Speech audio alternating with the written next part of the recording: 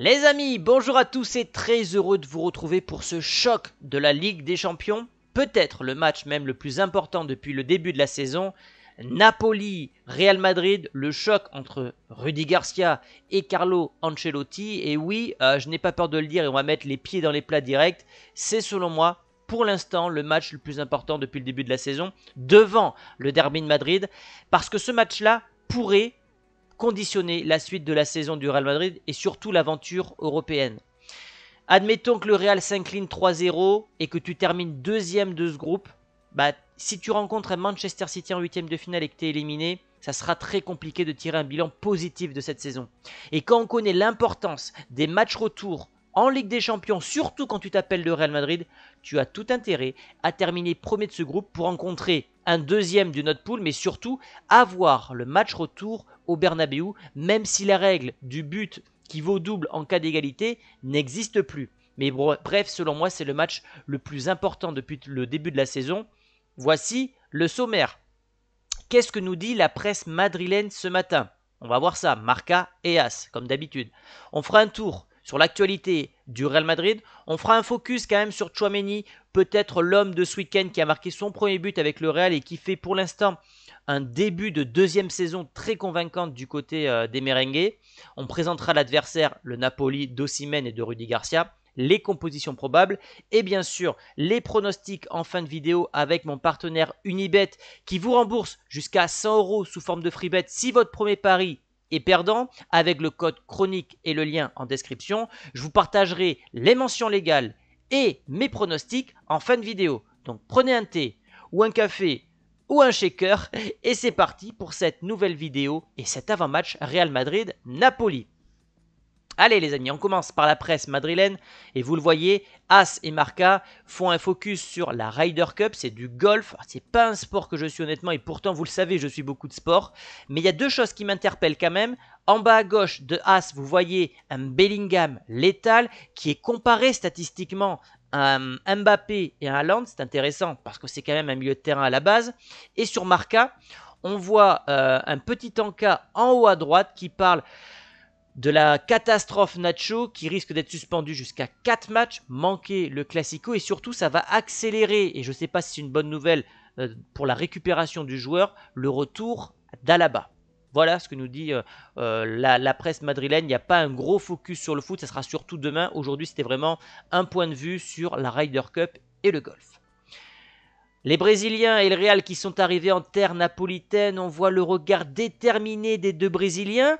Et deux Brésiliens qui, selon moi, pourraient être titulaires. Ils ont l'expérience de la Champions League. Et surtout, est-ce qu'on va pas avoir un bloc bas et jouer en contre contre ces Italiens, avoir beaucoup d'espace? Et je me dis qu'avoir deux joueurs très rapides qui combinent bien devant, ça pourrait être très intéressant. Et utiliser Rossellou, l'homme en forme, en fin de match. On aura le temps d'en reparler dans les compositions probables. Mais c'est une euh, hypothèse à ne pas sous-estimer. Nacho, quant à lui, risque entre 1 et 4 matchs de suspension pour son pétage de plomb sur Porto. Faut savoir que euh, Florentino Pérez et euh, Ancelotti se sont excusés auprès du joueur et de l'entraîneur. C'est pas dans l'habitude du Real Madrid à part Pépé et Ramos, mais d'avoir un joueur qui fait une grave faute comme ça, euh, je crois que le joueur est gravement blessé en plus. Et surtout, il manquera le Classico. Et c'est ça la, la, très mauvaise nouvelle. Nacho est le capitaine de l'équipe. Nacho ne joue pas beaucoup. Tu as perdu Militao. Tu ne l'as pas remplacé numériquement. Et là, tu vas perdre Nacho pour un mois c'est pas digne d'un capitaine du Real Madrid. Est-ce qu'il a fait passer cette frustration de ne pas jouer à travers ce tacle alors que tu menais 3-0, que tu étais dans les arrêts de jeu, que la victoire était acquise? Je ne, reconnais pas Nacho à travers ce geste-là et ça ne correspond pas à l'ADN Real Madrid. Donc il a dû, à mon avis, prendre des sanctions en interne par le président et l'entraîneur parce que, bah, mine de rien, ça vient fragiliser ce Real Madrid dans ce mois qui est décisif où, je rappelle, il y a quand même 7 matchs un match tous les trois jours. Tu as besoin d'avoir des joueurs tels que Nacho. Et malheureusement, tu vas devoir forcer le retour d'Alaba. Et pourquoi Et peut-être, pardon, euh, engager une rechute du joueur. Valverde, qui comme Vinicius il y a quelques jours a fêté son centième match en Liga avec le Real Madrid, Bah voilà, c'est la nouvelle génération, ces jeunes qui sont en train de grandir et de s'imposer, de devenir bah, l'étolier de ce nouveau Real Madrid. J'ai reçu un message d'un abonné qui m'a dit Thomas, tu es trop difficile, trop dur avec Valverde parce qu'il ne marque pas et, que tu euh, apportes trop d'importance sur les buts d'un Bellingham et c'est ce que tu faisais l'an dernier avec les buts de Valverde. Je me suis remis en question et c'est vrai que statistiquement l'Uruguayen me déçoit, mais je dirais pas que c'est qu'au niveau des statistiques, je trouve qu'il apporte moins d'impact. Alors certes, il est très important aux yeux d'Ancelotti parce qu'il va apporter cet équilibre, notamment avec son jeu box-to-box, mais je le trouve visuellement moins important que l'an passé. Donnez-moi votre avis dans les commentaires. Et ça, c'est la mauvaise nouvelle. Le français Clément Turpin sera l'arbitre de Naples-Real Madrid. Je déteste cet arbitre. Il veut toujours avoir ce rôle de petit chef, de coq sur la pelouse. Il n'a aucune, euh, comment dire, diplomatie avec les joueurs. Il veut toujours mettre des cartons rapidement, ne pas euh, calmer euh, une ambiance qui peut être parfois électrique. Et j'aime pas du tout cet arbitre. Et je ne serais pas surpris que le match parte en live au niveau des cartons, surtout quand on connaît l'atmosphère napolitaine. Chouameni maintenant est très apprécié au club, ils savent qu'il a quelque chose de spécial, il est présenté comme un phénomène et l'un des leaders de cette nouvelle génération au club. On sait que ce mec-là a un gros caractère, un gros mental qui déteste la défaite. Bon, quand je dis ça, euh, je dis des banalités, mais apparemment il a un gros caractère et euh, peut-être un joueur qui parle dans le vestiaire, je sais pas. En tout cas, c'est intéressant à lire, c'est The Athletic qui sort l'info, donc c'est quand même très sérieux. Comme je l'ai dit, les Vinicius, les Kamavinga, les Chomeni, ces joueurs-là sont amenés à rester peut-être pas 10 ans, mais au moins 7-8 ans au club. Et c'est cette nouvelle génération qui va aller diriger les jeunes comme Hendrik qui vont arriver l'an prochain. Ce seront eux, c'est cette génération qui seront les cadres du Real Madrid comme l'ont été et comme le sont actuellement par exemple des Tony Cross et des euh, Luka Modric. Donc très content que ces jeunes-là prennent déjà leurs responsabilités dans le vestiaire. Le Napoli, le Napoli, l'adversaire euh, du Real Madrid, champion d'Italie en titre, qui a fait un début de saison poussif, mais qui revient petit à petit. On va le voir à travers les derniers résultats. Une victoire à domicile contre l'Udinese 4 à 1, une victoire au Lecce à Lecce 4-0, donc 4 8 buts pardon, sur les deux derniers matchs, alors que Lecce était une des équipes qui avait très bien commencé en Italie. Ils, venaient de perdre leur invincibilité contre la Juve. Il y a eu des matchs décevants, notamment dans l'animation et la production de jeu. Genoa, ça a été compliqué contre Braga. Même chose pour, euh, pour euh, Bologne. Un Rudy Garcia qui était déjà en difficulté. On parlait déjà d'un De Laurentiis qui cherchait un potentiel remplaçant. Conte, voire d'autres entraîneurs mais il faut quand même nuancer ce qui se passe du côté du Napoli. Déjà, Rudy Garcia n'est pas le tocard qu'on veut nous vendre, euh, surtout en France. Il a eu de très belles expériences à la Roma où il avait terminé deuxième en ayant euh, le record de victoires d'affilée en début euh, de Serie A. Il est quand même allé en finale d'Europa League avec Lyon. Il a été en demi-finale de Ligue des Champions avec l'OL. Il était critiqué de tocard mais quand je vois le Lyon d'aujourd'hui, je me dis que le Lyon de Rudy Garcia n'était pas si mauvais. Donc il a cette étiquette de tocard qu'on veut nous vendre en France. Certes, il ne réussit jamais sur le long terme, mais il a souvent de très belles expériences, je trouve, courtes à travers ses clubs. Et surtout, il y a une statistique à ne pas négliger.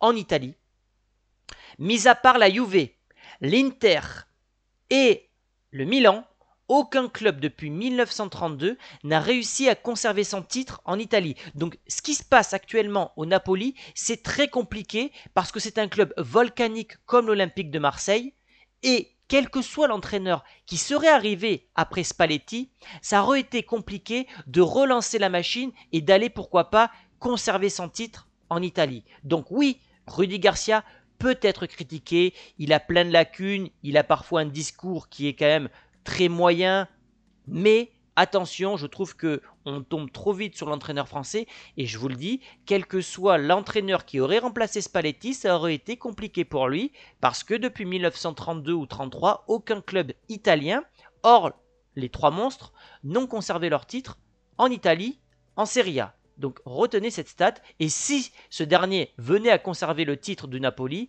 ça serait un véritable exploit digne, euh, bah, c'est un exploit qui date de quasiment 100 ans. Un homme qu'il faudra surveiller côté Real Madrid, c'est pas euh, Crash le géorgien, j'ai oublié son nom, j'arrive jamais à le prononcer, excusez-moi, j'y arrive jamais, qui n'a pas marqué le moindre but depuis mars, mais c'est cet homme qui vient d'avoir en plus, euh, comment dire, un petit scandale avec le Napoli où le community manager du club a mis une vidéo sur TikTok à tendance raciste. Néanmoins, quand on regarde les stats du Nigérian, il est très en forme. Voilà, et ça ne l'a pas empêché de marquer ce week-end. 7 matchs, 5 buts. Il n'a toujours pas ouvert son compteur but avec le Napoli en Ligue des Champions. J'espère qu'il ne le fera pas contre le Real Madrid. Mais sa puissance, sa rapidité, sa verticalité et même son jeu de tête, il a un très très bon jeu de tête, pourrait mettre en difficulté ce Real qui, notamment sur les centres, je les trouve trop passifs, pour, dire, rester poli.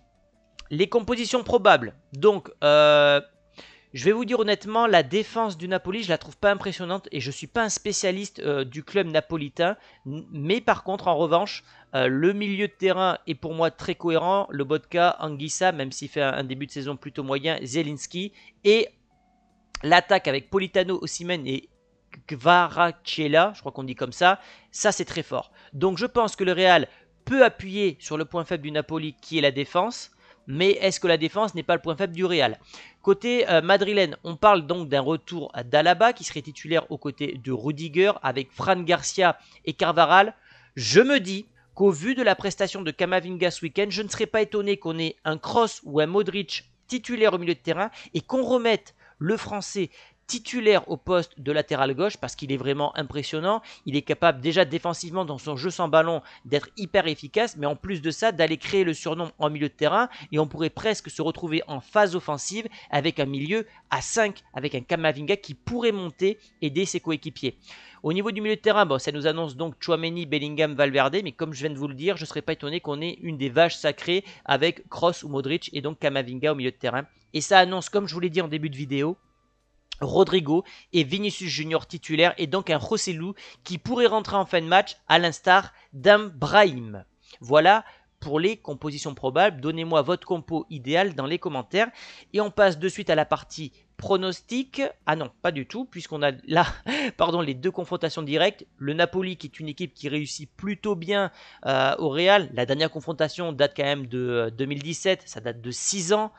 Est-ce qu'on peut tirer des conclusions hâtives à travers cette stat-là? Je ne pense pas. Voici maintenant mes pronostics. Donc avec Unibet, mon partenaire, vous avez le code chronique pour bénéficier du bonus de bienvenue. Attention néanmoins, on parie avec responsabilité. C'est strictement interdit aux mineurs, donc réservé aux personnes majeures. il faut voir ça comme du divertissement en pariant des sommes que l'on peut perdre, 10 euros, 15 euros. C'est souvent la maison qui gagne, donc faites très attention, ça reste des jeux d'argent. Si vous voulez tenter votre chance, vous avez donc tout ce qu'il faut en description pour avoir votre bonus. Les cotes du match. Le Napoli est coté à 2,62. Le match nul est coté à 3,65, tandis que le Real Madrid est légèrement favori, ça, ça me surprend, à 2,48. 70% des gens qui ont parié ont voté pour une victoire du Real. Je suis plutôt surpris. Euh, moi, personnellement, je partirais sur un match nul. J'imagine mal le Real s'imposer au Napoli qui va beaucoup mieux. Euh, je me dis que Naples pourrait aussi gagner, mais je vois plus un match nul, surtout que la cote elle est quand même très intéressante à 3,65. Au niveau des scores exacts, vous le voyez, la cote la plus probable, c'est le 1 partout, côté à 5,70. La victoire 1 à 0 de chaque côté est cotée à 10,50 très intéressante, euh, surtout que c'est très élevé. Et la cote après, euh, la deuxième cote la plus probable, c'est la victoire du Real 2-1, côté à 7,65. Perso, je partirai sur le 1-1 côté à 5,70 avec un but de d'Ossimène, ça c'est sûr. Et après, vous avez les cotes du Real, des, buteurs du Real qui sont toutes supérieures à 3, sauf Rossellou 2,95. Pourquoi pas un des Brésiliens, euh, Rodrigo Vinicius qui marque, c'est quand même coté à, à 3,15, 3,08. Vous avez Jude Bellingham à 3,48. Et après, il y a une cote qui est ultra intéressante. C'est le bon coup Unibet, comme je peux l'appeler. C'est vous misez sur euh, le, buteur chance double à 1,62 et vous avez euh, soit Ozymen soit Bellingham qui marque, vous avez donc votre, votre cote qui passe, sachant que ce sont les meilleurs buteurs des deux clubs respectifs à 1,62. Je pense que c'est quand même très intéressant. Voilà les amis pour cet avant-match Napoli-Real Madrid. Je pense qu'il est assez complet. Donnez-moi votre avis dans les commentaires. Donnez-moi surtout votre compo et votre prono. Et on se retrouve demain soir à chaud, à peu près 25 minutes après la rencontre, pour ma réaction à chaud à travers le débrief avec les notes, etc. D'ici là, portez-vous bien, je vous fais la bise, à très vite, ciao